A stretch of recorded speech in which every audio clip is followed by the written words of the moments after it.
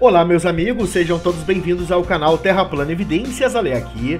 E nesse vídeo eu quero mostrar algo para vocês, mas muito interessante, galera. Né? Então a gente vem aí há muito tempo, não só eu, né? O Bruno então há muitos anos, o Gilberto, canal Terra Plana Reload, dentre outros canais, né? a gente vem falando, inclusive a gente já fez vários reacts ao vivo, né, mostrando ao vivo o foguete fazendo aquele arco no céu e caindo em algum lugar, né? E esse lugar é o Triângulo das Bermudas, né? Então o Cabo Kennedy, né, o Cabo Canaveral, né, ele está aqui, né, nessa região aqui, né, da Flórida, e os, os, os lançamentos acontecem aqui. E daí os foguetes sobem, né, no máximo chegam a 60 quilômetros, mas no máximo e fazem aquele arco e caem nessa região. Né? Você sabia que todos os anos mais de 150 naufrágios acontecem nessa região aqui? O temido Triângulo das Bermudas? Todos os anos, mais de 150 barcos, né? Ah, eles naufragam aqui nessa região e nunca mais são encontrados. Hum, será que tem alguma ligação com isso? Será que de repente existem alguns submarinos ou até embarcações militares, né, causando esses naufrágios para que algo não venha a ser descoberto? Olha, é de se pensar, hein? Então o Triângulo das Bermudas, né, ele vem aqui da Flórida, né, ele vem até aqui as Bermudas e mais ou menos ele chega até aqui as Ilhas Virgens, né, formando esse triângulo aqui, ó, tá? Formando esse triângulo, né? Então, galera, uh, eu ficava pensando, tá, tudo bem, eu já fui militar, né? Eu sei que para rastrear tanto um navio ou rastrear um avião ou até mesmo um foguete, você precisa, né, de uma estação de rastreamento para você poder rastrear esses objetos, né? E eu pesquisava essas regiões aqui, né? Já vários foguetes boiando foram encontrados em algumas praias aqui. O Bruno já mostrou vários, né? E, e eu ficava perguntando, tá, mas onde é que tá essa estação de rastreamento? e olha o que eu encontrei, meus amigos!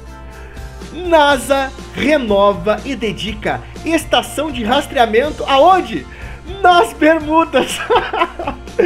tá aqui, ó, nas Bermudas, cara, tá? Exibindo, vamos ler aqui rapidinho. Exibindo a parceria de longa data da NASA com as Bermudas em apoio ao voo espacial humano e à exploração espacial, a NASA dedicou formalmente sua estação de rastreamento das Bermudas, utilizada na segunda-feira, 5 de novembro, durante a cerimônia de inauguração no local da Estação da Reserva Natural da Ilha de Copper.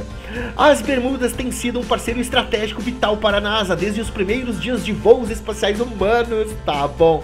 Disse o cônsul-geral dos Estados Unidos, Constance Dillman.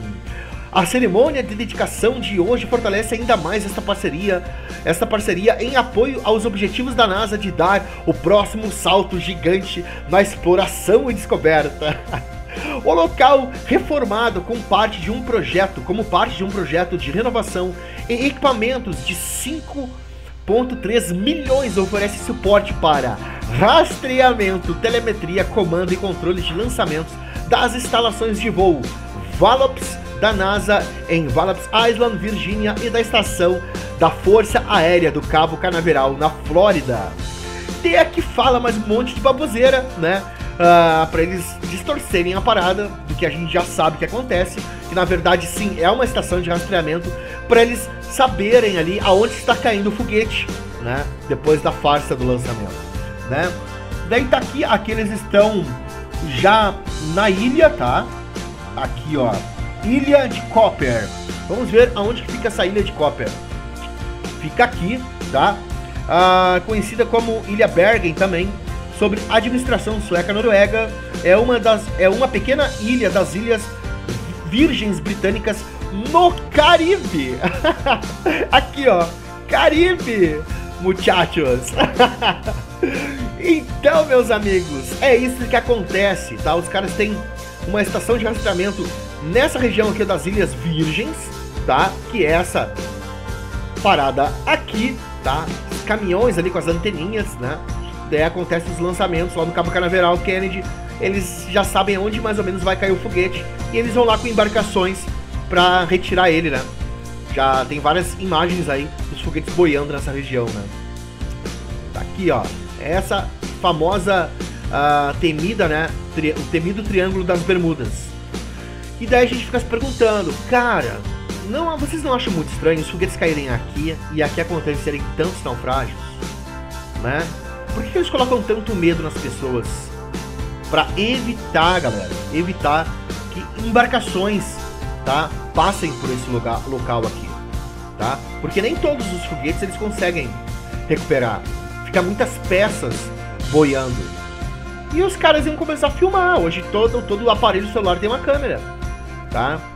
Então eles já sabiam que isso um dia ia acontecer, que nós teríamos acesso né, à internet, né, a, a filmadoras portáteis do nosso celular. Eles vêm há muitos anos já com essa conspiração aqui de afundar navios, barcos aqui nessa região. Então, na verdade, o Triângulo das Bermudas não tem mistério nenhum aqui. O pessoal acha que tu vai navegar por aqui, teu barco some porque tu vai para outra dimensão. Não tem nada a ver isso aí, meu amigo. Isso aqui os caras mesmo estão afundando os navios aí, os barcos, tá? Para meter o terror e ninguém descobrir a farsa da NASA aqui, ó. Cabo Canaveral, os foguetes caem todos aqui. É, meus amigos. Né? Então quer dizer que a NASA tem uma estação de rastreamento no Triângulo das Bermudas. Daí os globistas aí, né, os globaloides vão, ah, mas é só uma estação de rastreamento para eles observarem onde o foguete vai, vai ir para o espaço.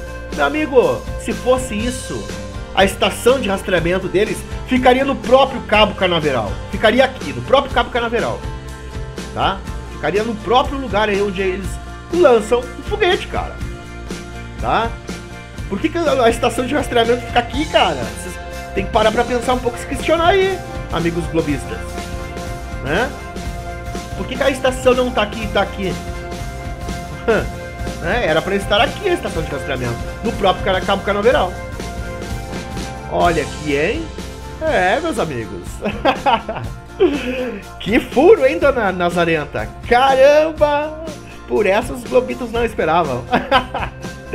então, galera, a gente vai ficando por aqui. A gente vai continuar pesquisando e desmascarando todos esses mentirosos aí. Estamos juntos, muito obrigado e até o próximo vídeo. Valeu!